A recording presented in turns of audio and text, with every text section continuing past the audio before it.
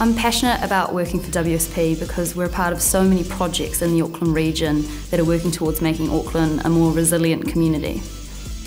Auckland's on a journey from becoming what is a great Pacific city into a truly global city, and part of that is the implementation of a new and greater public transportation network, of which we are part of.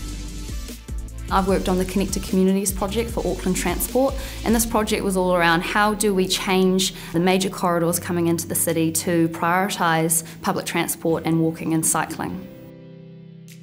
All great cities are built around a good public transportation network, and the transportation nodes actually become the centres of, of communities, which is what CRL is going to do for Auckland. For us at WSP, being involved in this project, going back 20 years to when we were the designers for the Britomart station, and now here we are 20 years later, actually implementing what is going to be the single biggest project New Zealand's ever seen. At WSP, we're driving corporate sustainability through our membership of the Climate Leaders Coalition and setting science based carbon reduction targets. This means that through setting targets, we're doing our fair share of decarbonisation for ensuring that the world stays below a 1.5 degree temperature increase.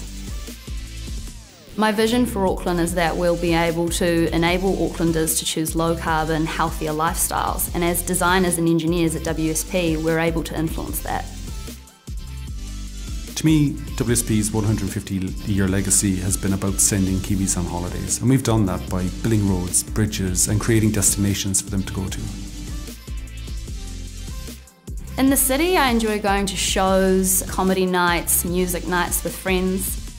Living in Auckland CBD, there's plenty of opportunities to do things like go to the farmers market, cafes, restaurants, experience nightlife.